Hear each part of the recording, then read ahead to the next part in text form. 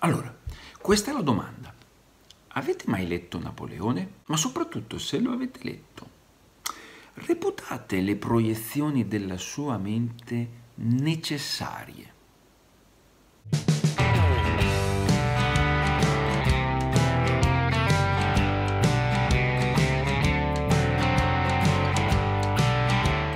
Carissimi amanti dei fumetti, ben ritrovati per questa nuova video recensione. Parliamo di un trittico inserito all'interno della collana delle storie, un trittico che però riguarda una collana che se seguite la Bonelli è stata ben nota a tanti. Napoleone mi sembra che sia stato più o meno oltre una cinquantina di numeri, sia durata come serie, quindi non è che abbia avuto una grande fortuna. Io ne lessi ai suoi tempi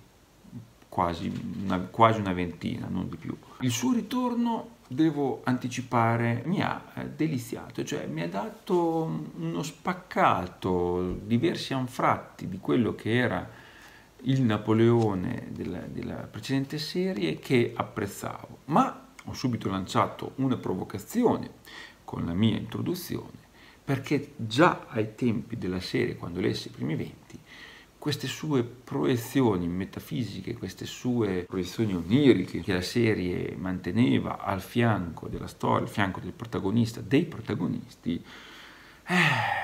mi ha sempre lasciato un po' così, cioè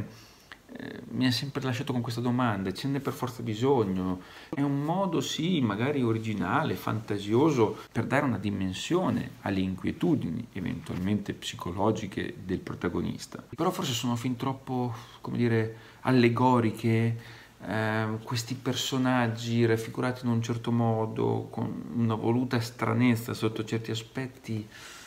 non ho mai empatizzato con loro, non ci posso fare niente, non, non mi sono mai entrati nelle corde, ecco, ecco quanto. Sì, facevano intravedere una, un lato particolare della personalità di Napoleone, però oh,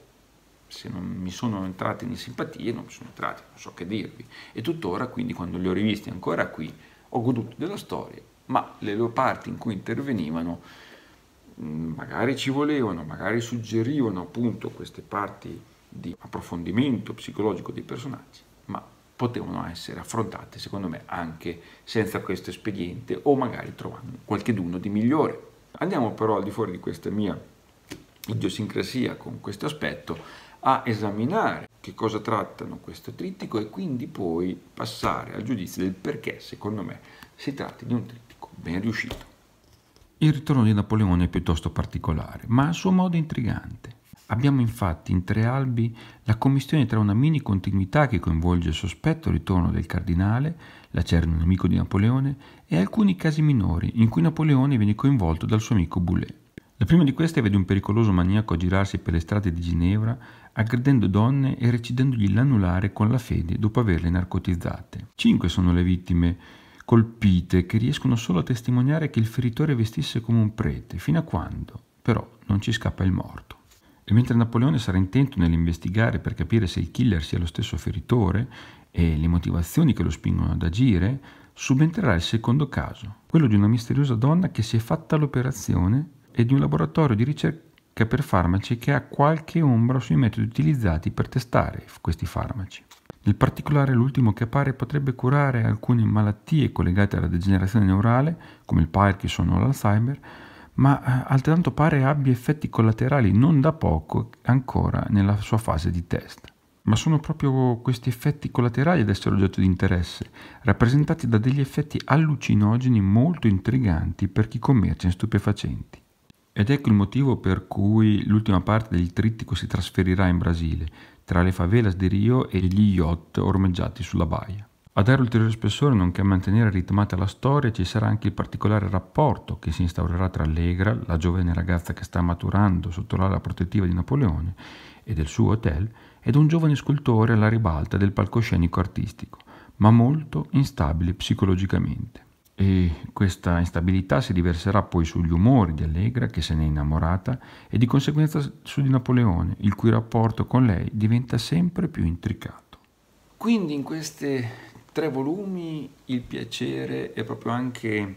da come è stata scandita questa storia, dall'ambientazione che ritroviamo Napoleone in questa Ginevra, Napoleone che manda avanti il suo eh, hotel con tutte le incombenze che ci sono di mezzo che non può trascurare pur eh, dando appunto una mano in qualità di investigatore al suo amico vice ispettore. Però questa quotidianità è interessante perché eh, ha questi suoi risvolti non solo sulla vita ovviamente normale di Napoleone, ma anche ovviamente su Allegra, l'altra eh, grande protagonista di questa storia, il doverla seguire, il doverla come in certi modi proteggerla, il suo modo anche di essere geloso in qualche modo interviene in modo sempre molto credibile, incalzante. E anche le difficoltà stesse che ha Napoleone nell'interfacciarsi in questo ruolo che non è di vero e proprio padre, non è di vero e proprio possibile futuro amante, punto interrogativo, perché comunque c'è anche una sorta di retroscena di gelosia in questa storia, in questa Allegra che è diventata, sta diventando eh, donna a suo modo. C'è la gelosia amorosa, ma anche forse del padre vero e proprio, tipica no? nei confronti di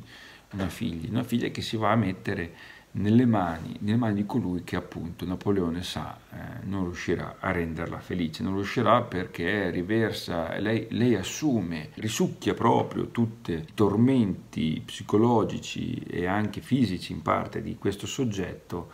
e, nell'aiutarlo li fa suoi. Ecco. Quindi eh, Napoleone ha nel dipanarsi della storia, del thrilling che comunque c'è, un aspetto di, di ansia, di pressione comunque sempre presente.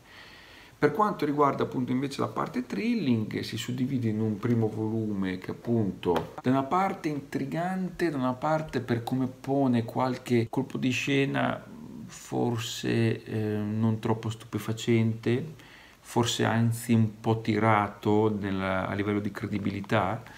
ma a parte quello, eh, sì, comunque un caso discretamente interessante. Poi come prosegue, forse nel secondo e terzo capitolo, agganciandosi a un piccolo particolare di questo, la storia prende altri lidi e si fa però tutto sommato più, più, via via più interessante, anche perché appunto eh, entrano a gamba tesa altri personaggi intriganti anche nel modo in cui vengono presentati e il fatto che ci sia nello sfondo la presenza del cardinale, questo vecchio antagonista, sì, può essere intrigante come anche no, sia che abbiate letto la, la storia a suo tempo di Napoleone, sia che non l'abbiate fatto. Eh, quindi comunque mh, il modo anche in questi tre albi procedono è davvero, secondo me, ben cadenzato, ben studiato dal punto di vista di come è sceneggiato. Quindi da questo punto di vista eh, va il mio applauso sicuramente a Carlo Ambrosini che grazie a questa storia fa sicuramente tornare un po' della voglia di Napoleone anche per le atmosfere, tranne, come vi ho detto, quell'aspetto che purtroppo so che fa parte di questo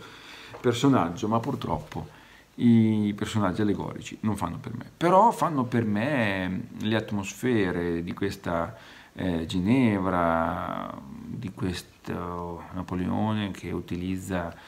auto ormai desuete, che mm, ha uno stile, un classicismo che forse sono anche un po' tipici eh, di questa classe anche dello stesso, che viene riconosciuta anche questo, allo stesso Ambrosini. Ecco, L'appunto che forse vado a fare più che altro ad Ambrosini è una certa caratterizzazione, un certo disegno per l'ennesima volta.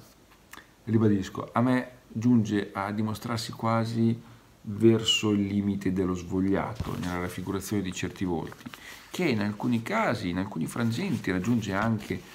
piena, eh, risultare pienamente soddisfacente, ma io che sono amante di un tratto più realistico, meno vergato un po' più grezzamente, eh, così lo apprezzo abbastanza meno, tant'è appunto che non dico che ho apprezzato il secondo albo che è decisamente troppo caricaturale per i miei gusti, troppo poco realistico, anche se anche qui mostro alcune tavole secondo me nettamente più riuscite, non si può dire che in alcune raffigurazioni non ci sia un ottimo sia regia sia raffigurazione dei protagonisti della storia.